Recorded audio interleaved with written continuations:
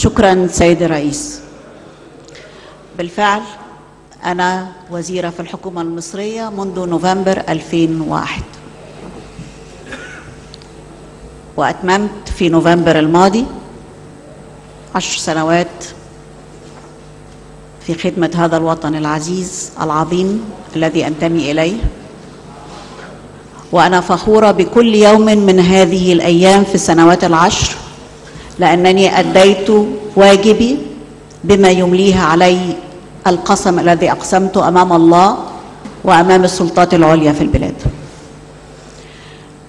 السيد النائب الموقر لديه كل الحق فعلا فأنا كنت آتي إلى هذا المجلس الموقر وإلى مجلس الشعب الموقر لأدافع عن اتفاقيات القروض المعروضة على المجلس لأنه هذا جزء من واجبي كوزيرة للتعاون الدولي مسؤولة عن توفير المكونات الأجنبية للمشروعات التنموية المدرجة في خطة التنمية للدولة.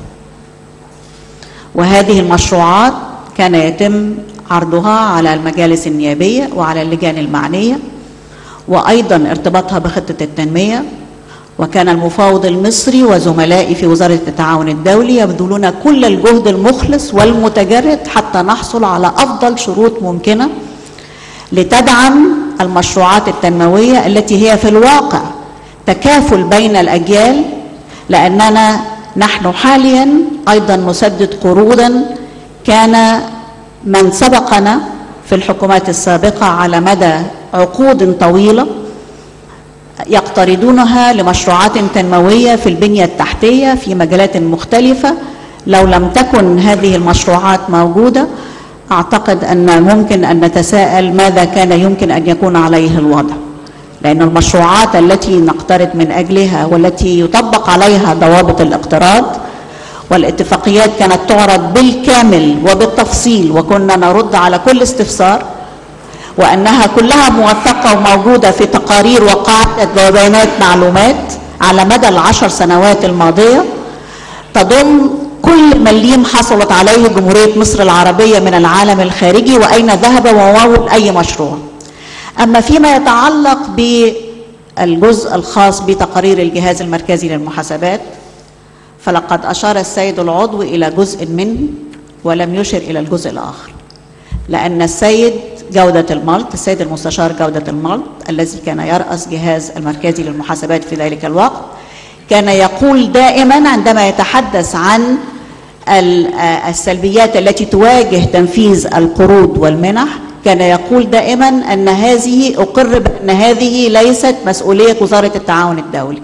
نحن نوفر التمويل للجهات المسؤولة ولكن الجهات المنفذة هي اللي تتولى هذه المتابعة. وأنا أقول هنا مرة أخرى أنه في القروض التي يتم الحصول عليها لا يمكن أن تكون هناك مخالفات إلا في حالات ربما بطء المسحوب من القروض لأن هذه تكون بالبداية عملية المشروع نفسه يكون في بداية عمله فبالتالي في الطبيعي وفي كل دول العالم يكون بداية المسحوب بطيئا ثم تتسارع وتيرة السحب.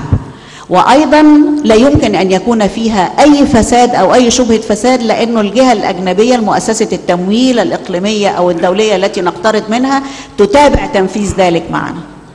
ربما هناك وأنا أول من كان يشهد أنه ربما هناك بعض الصعوبات بالنسبة للمنح ووضعنا قواعد لهذه المنح.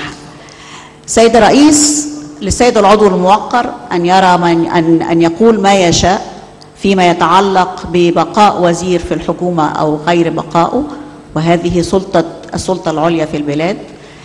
أنا في حياتي لم أسعى إلى منصب في حياتي والتي تمتد إلى مدى 35 سنة لم أسعى إلى منصب. ولكن ولكن سيد الرئيس أعتقد أن هناك أيضا اسلوبا للتعامل بين المجلس الموقر سيادتك اقريته سيادتك أشرت إليه. وأيضا أنا أرفض كوزيره في الحكومة أن تتهم الحكومة بخيانة الوطن. فأرجو لم لم يتهم أحد الحكومة بالخيانة. لا ذكر ولكن ذكر في الحديث سيد الرئيس أن هذه الحكومة تخون الوطن.